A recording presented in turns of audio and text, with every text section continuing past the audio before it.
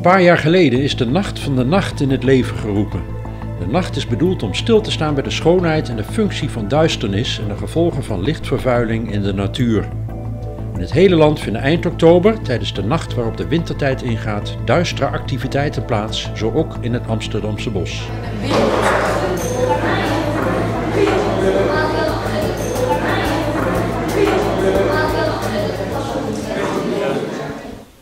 Voordat we gaan beginnen, uh, wil ik u in ieder geval heel hartelijk welkom heten in het Amsterdamse bos.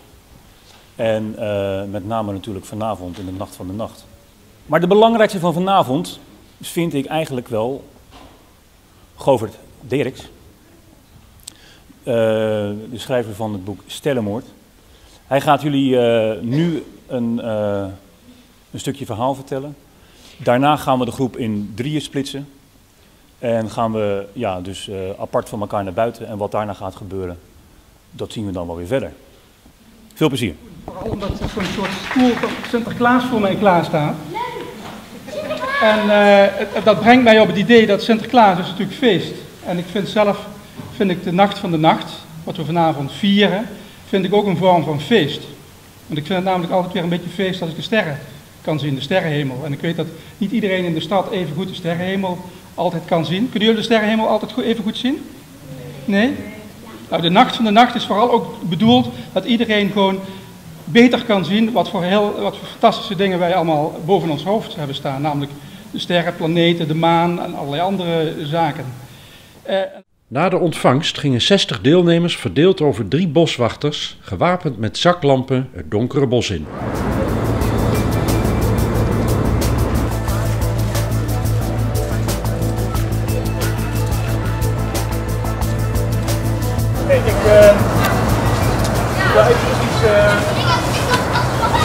Dames en heren, jongens, meisjes.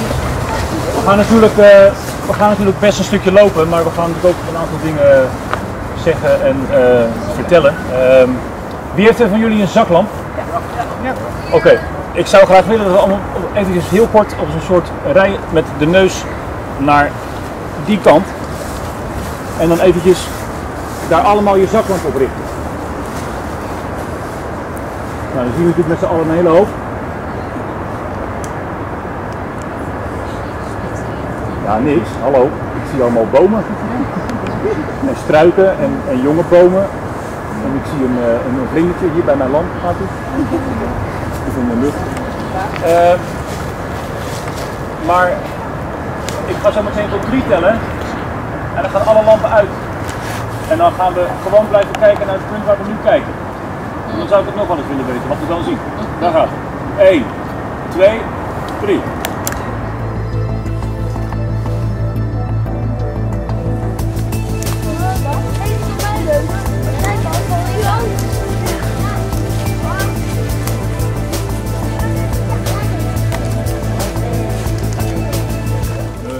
Van de paddenstoel. Want die paddenstoel zelf die zit maar natuurlijk meters lang onder, onder, de, onder de grond in de bladeren in stronken.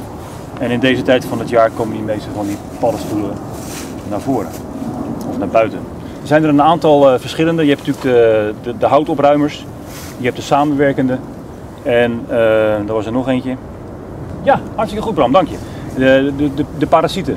Nou, zo'n tondenzwam uh, is er eigenlijk wel een parasiet. Als een uh, boom beschadigt, doordat er bijvoorbeeld een tak wordt afgebroken of er valt een boom tegenaan met een storm en het is open. Het is eigenlijk een beetje hetzelfde als jij bijvoorbeeld zou vallen met je fiets.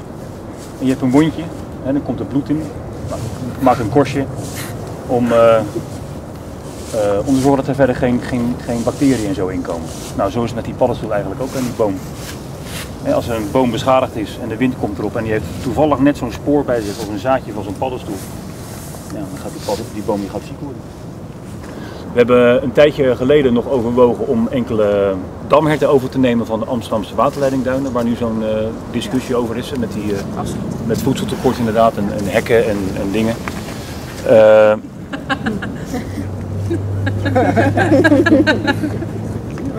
maar om die reden doen we dat dus niet. Nou, hij mag, gaat gezellig mee. Kom maar jongen. Stel je nou voor, jij eet anderhalf uur lang, dat is een beetje een gek, gek praatje. Je eet anderhalf uur lang bruine bonen. Wat gebeurt er dan? Nou, dat, moet je- dat kan ik, je- dat kan ik je verklappen. Dan moet je ongelooflijk naar de wc. Nou, die pissenbedden en die slakken, die eten alsmaar bladeren op. Nou, die gaan ook poepen. En dat heb ik hier in mijn hand. Dat is gewoon aarde. Dus eigenlijk is die aarde, wat we zien, waar we op lopen, dat is allemaal hele kleine stukjes blad. Zie je, er zitten nog een paar, paar, paar schuddetjes tussen nog van, van blad. Het is poep van slakken, het is poep van insecten. En daar gaan onze planten hartstikke goed van groeien. Handig, een soort kunstmest. Nou, hartstikke goed. Het was die avond licht bewolkt. In het donkere bos waren de sterren opmerkelijk veel beter te zien dan in de stad met al het licht. Helaas was er een nieuwe maan die zich aan de andere kant van de aarde bevond.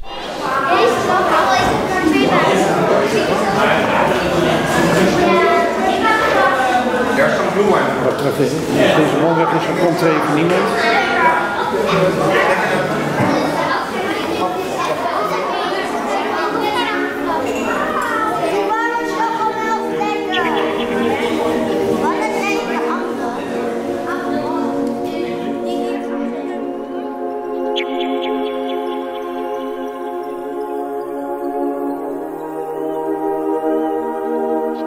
Thank